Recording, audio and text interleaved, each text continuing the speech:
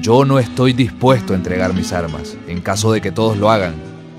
Yo me haré morir con los pocos que me acompañen, porque es preferible hacernos morir como rebeldes y no vivir como esclavos.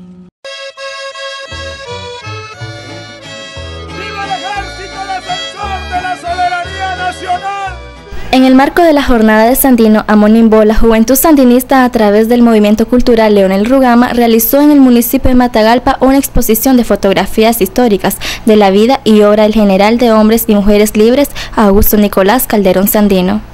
Durante, durante esta jornada de Sandino Monimbo estamos haciendo presentaciones de teatro, presentaciones de poesía, presentaciones de la vida, de lo que fue nuestro general de hombres libres. De igual manera, encuentros juveniles para de esta manera sembrar la semilla y que nuestros jóvenes se den cuenta quién era nuestro general de hombres libres. Bueno, pues hoy nosotros nos convocamos a, esta presentación de la vida y obra de nuestro general de hombres y mujeres libres, Augusto Nicolás Calderón Sandino.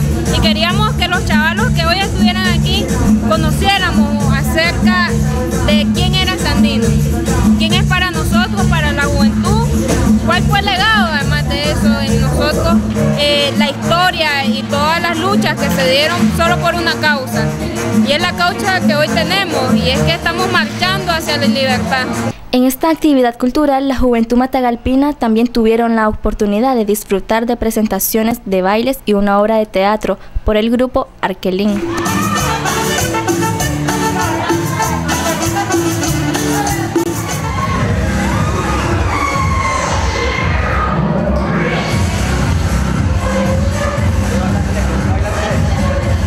Bueno, eh, como el lema de él, patria libre o morir, entonces nosotros como estudiantes debemos de que debemos darle seguimiento a eso en lo que es el estudio. Si nosotros como quinto año tenemos que darle seguimiento a los demás, tipo primaria, nosotros este, impartirlo lo que nosotros sabemos.